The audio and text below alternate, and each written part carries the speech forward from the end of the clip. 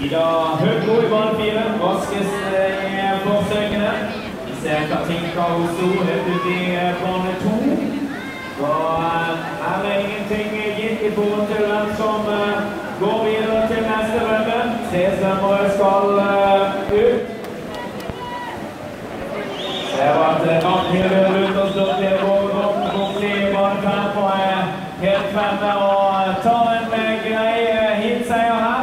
30,90. Og vi har en new mean.